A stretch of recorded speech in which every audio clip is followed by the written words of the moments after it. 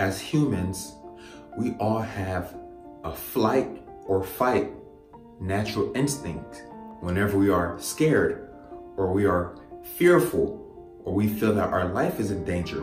However, many of us tend to go towards the flight instinct. Many of us fear failure. We fear making mistakes. And as a result, when times get tough, we tend to quit.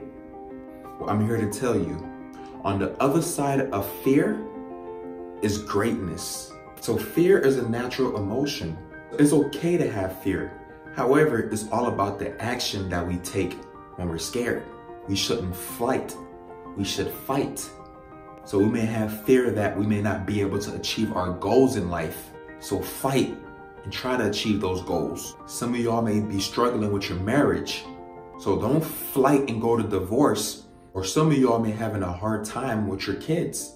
Don't give up on them because every time we make mistakes and every time we fail, those are opportunities for us to learn and grow as individuals. So it is important for us to not allow our feelings to take control of our lives. Michael Jordan once said, I have missed more than 900 shots throughout my career. I've lost almost 300 games.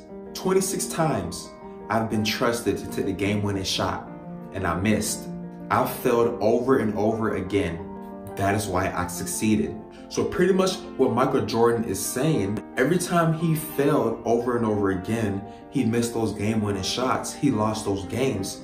Instead of him quitting, he learned from those mistakes. He figured out what can I do better to be successful the next time I encounter that same situation. And I'm pretty sure there's been time and time where he wanted to quit, but he didn't let that emotion take over his life. He didn't let his emotions dictate his actions. So always remember, if you don't quit, you will win in life. Why? Because you will grow, you will learn from your mistakes, and not only that, you'll be able to mentor someone who's coming up on the same mistakes that you had.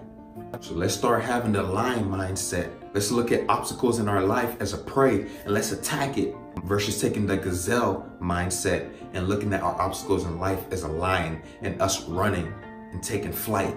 So y'all take care. God bless.